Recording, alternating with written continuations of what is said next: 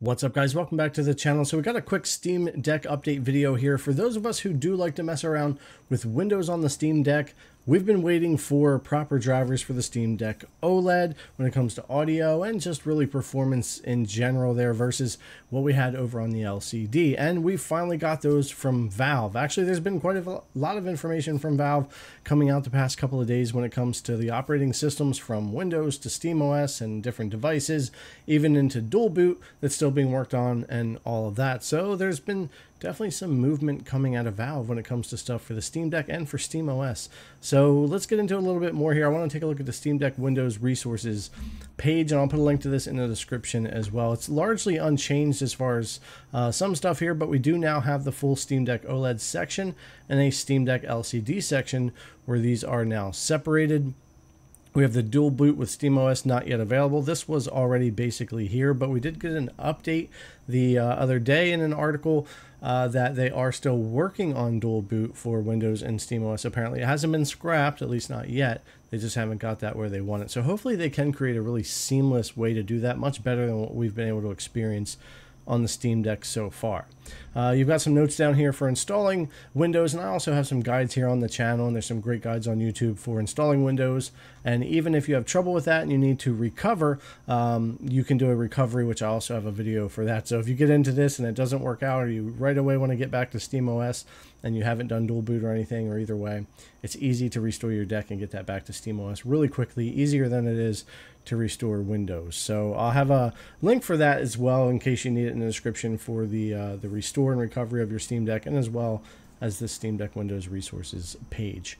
Now here for the Steam Deck OLED, it says important for Bluetooth to work pro properly, you'll need to get the latest BIOS through the Steam OS beta update 3.6.9 or later. Do this before installing Windows. And the only issue I know about this is I haven't tried it, but I've heard that the beta BIOS there can be a little quirky, but that's what you need to do before you get into the whole Bluetooth part here for that. But everything else should be working. We have uh, the APU driver, so for your graphics for the APU here, uh, the CPU, that whole situation, the driver's updated as of August 15th now. The SD card reader uh, right here, Wi-Fi driver, Bluetooth driver here. Remember about the uh, beta BIOS that you're going to have to deal with. And it says, note, Bluetooth audio is currently um, output only microphone functionality is still being worked on so it is limited still when it comes to bluetooth support and then we have the audio drivers here for that and a note audio currently only works via headphones or bluetooth audio speaker drivers are still being worked on which is disappointing for me I'm not a big headphone user when it comes to these handhelds. I prefer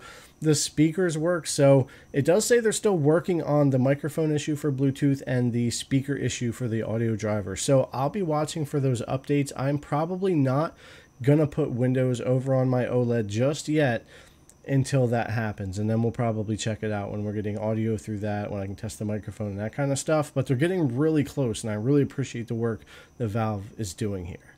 And while I know a lot of you out there think it's blasphemy to put Windows on a Steam Deck, and I understand SteamOS is certainly the soul of the Steam Deck, and I enjoy the heck out of SteamOS, but I do like to play around with my tech devices. I do like to mess with Windows. I do like to feel a little naughty and play games like Call of Duty and stuff like that on the Steam Deck through Windows, which I can do some of that through cloud on SteamOS as well. But natively, to get that experience, I think it's fun, but I totally understand those who don't want to mess with that or just think you should stick with SteamOS. I get it. But I love the fact that Valve does support this. They do continue to work on these drivers, albeit a bit slow, in my opinion. They do work on them. They do allow this to happen. They don't have the device locked down. And not only that, not only do they allow and support somewhat Windows on the Steam Deck, they also are looking to move SteamOS to the ROG Ally and other Windows handhelds officially, which we talked about the other day. So, in my opinion, here, Valve continues to be the most consumer and gamer friendly when it comes to the handheld scene and when it comes to their operating system and all that. They may prefer you use SteamOS over Windows, of course. They may prefer you have a Steam Deck other over over other devices, of course.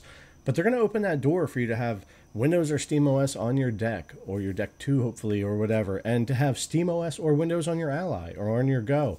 And I just think that's really cool of Valve to do. I prefer that. I want to buy a product like the Steam Deck and use it how I want to, run the software I want to on it, and not have it locked down. And I think they've done a great job of that. And also, other companies like for the ROG Ally or the Legion Go. it doesn't sound like they'll lock those down or have any issues either when it comes to being able to swap and put SteamOS over there. So I hope the handheld scene stays kind of friendly and open like this so we can all continue to have a lot of fun with it. And I'll definitely keep an eye out on the Steam Deck OLED drivers to see if we get some more updates to get those speakers working, the microphone working, and I might jump in, do an install on this, but for right now I'm going to stick with my LCD when it comes to the Windows videos and my OLED for Steam OS. Alright guys, thanks a lot for coming to check out the video. As always, let me know what you think in the comments down below, and I'll see you in the next one.